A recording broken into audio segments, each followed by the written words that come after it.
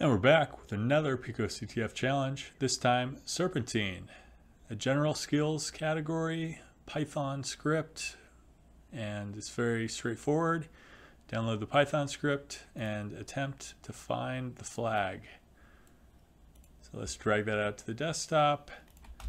Let's open a terminal and let's run this script.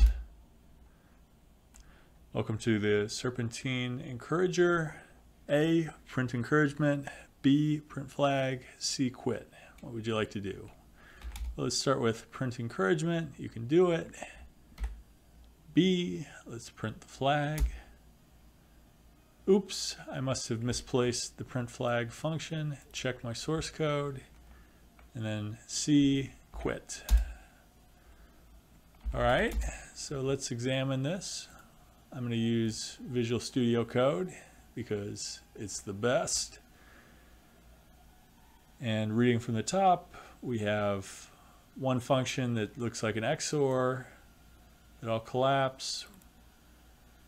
We have uh, the declaration of a flag that seems to be encrypted, ENC. We have a print flag function, which calls this XOR using uh, Enkidu. We've got our menu that we saw before. We have the printout of the serpent. And we can see how everything is called. So what we would like to do is we'd like to make it so that we call this print flag function. We could do this in a number of ways. We could just put at the bottom here. We could call it directly.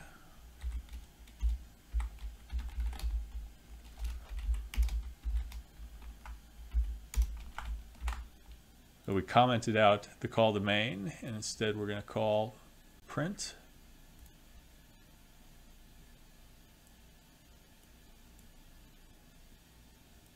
And you can see we get the flag you could have also done this uh, outside of VS Code. You know, if you felt like opening up another editor and then running Python 3 Serpentine after making your change, you would have got it.